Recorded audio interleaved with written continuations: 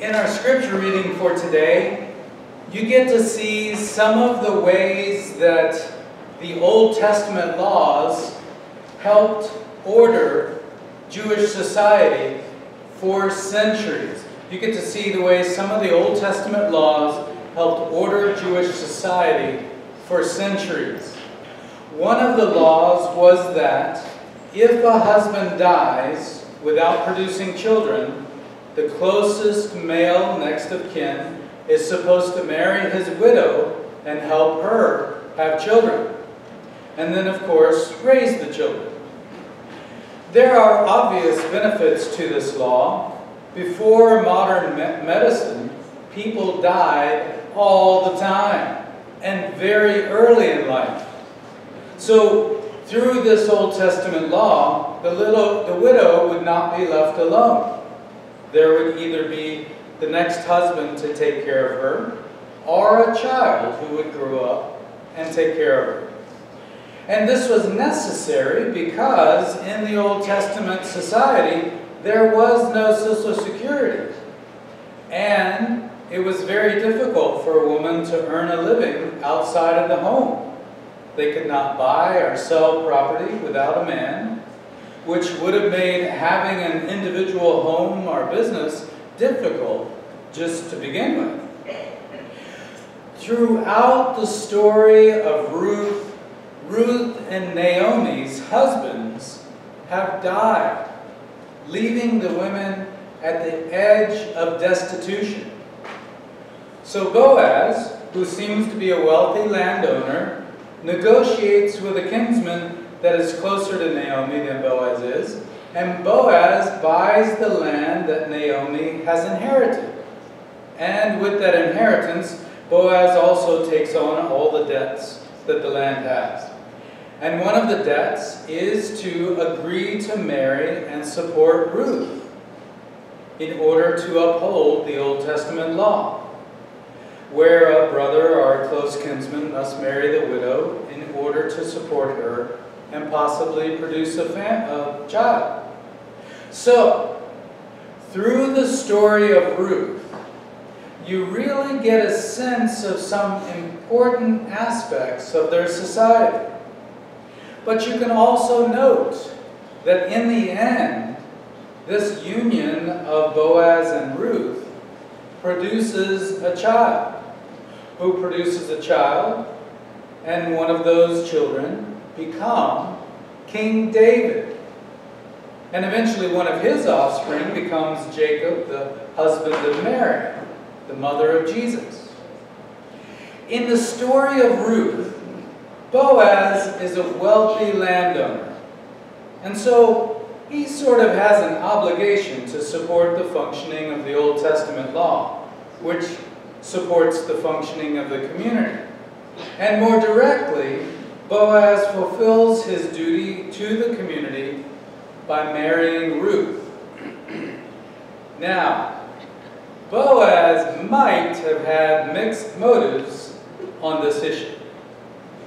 Earlier in the story, it seems as if Boaz was, well, quite pleased that this younger woman chose him even if he is wealthy. So Boaz might have wanted to fulfill his duty to the community, but he might have also been pleased for his own desires. And in the end, the generosity of Boaz becomes a blessing to the whole nation of Israel through the birth of King David. And finally, the stepfather of Jesus, the Son of God. Sometimes someone might feel like you always have to be, have to have perfectly pure motives in order to produce good. But that is not true. Many good things are produced by people who have been prompted to do good because they also know that it will partially benefit them. I think of those people who are able to donate enough money to build a whole new wing onto a hospital, and yet the addition is named in their honor. That's okay. There's nothing wrong with also being blessed by doing good.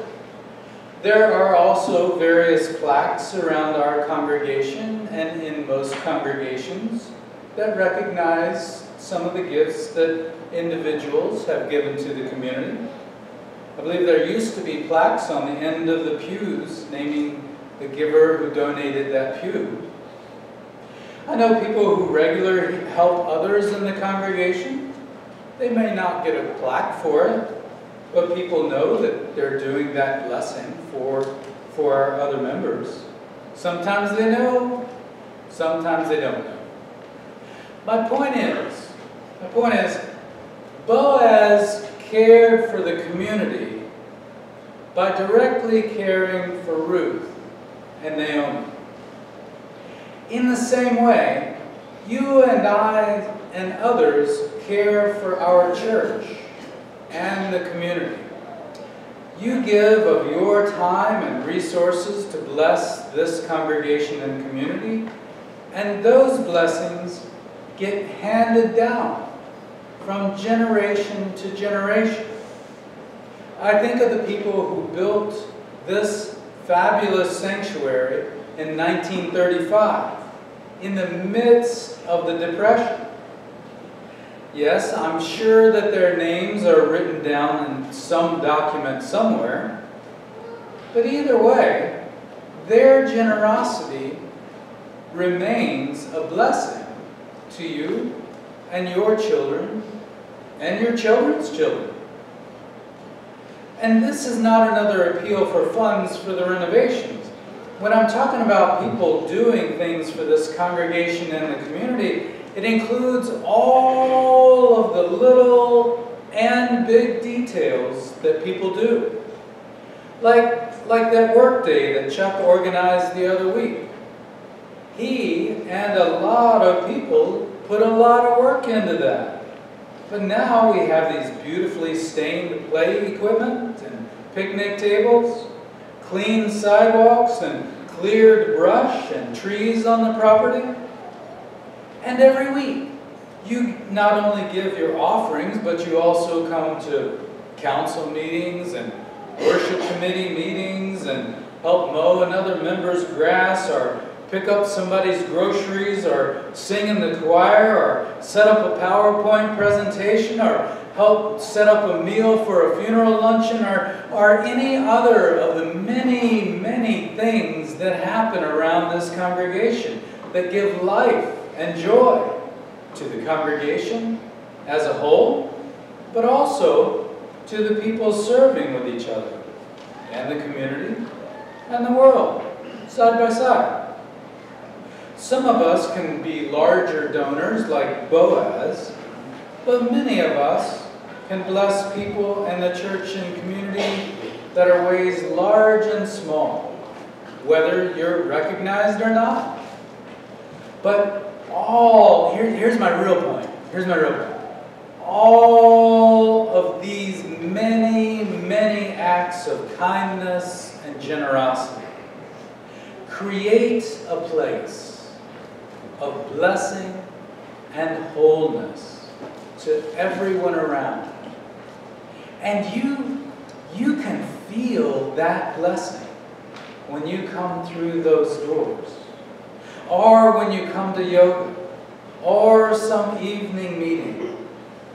There is a spirit here, a graciousness that Jesus is handing down to this place from generation to generation by people that you know or have known, and also from people that you will never know all that love and grace are collected in this moment, right now.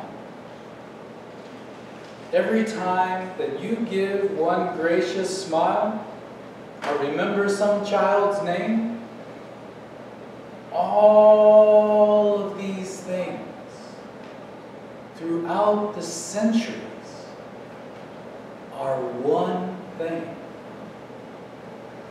From Ruth to Naomi, from Boaz to Ruth, from King David to Israel, from Joseph to Mary, from Mary to Jesus, from Jesus to you and me, and each of you and each of our children today.